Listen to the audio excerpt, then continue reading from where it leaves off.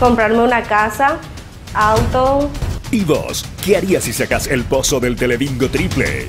El municipio y Centro Cultural Comunitario de la ciudad de Fulgencio Yegros realizó una conferencia de prensa para invitar a la ciudadanía encarnacena a participar del Festival de Licor.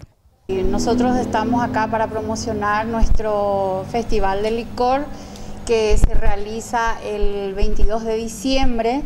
Eh, convoca cada año a miles de gente. El año pasado hemos alcanzado 8.000 personas y nuestro objetivo este año es superar ese, esa cantidad y por eso es que venimos hasta acá para poder hacerle extensiva la invitación y llegar hasta Yegros, ya que Yegros es tan eh, fácil el acceso ahora por la distancia.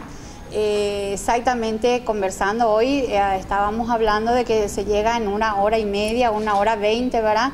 Así que llegar hasta allá y pasar un día de fiesta eh, es mucho más fácil y tenemos un día de fiesta en familia para compartir y aprovechar lo que es la producción yegreña. Ese es nuestro objetivo, que las familias yegreñas que producen eh, puedan vender ese día y lo que nosotros necesitamos es la presencia de, la ciudadanía del país, ¿verdad?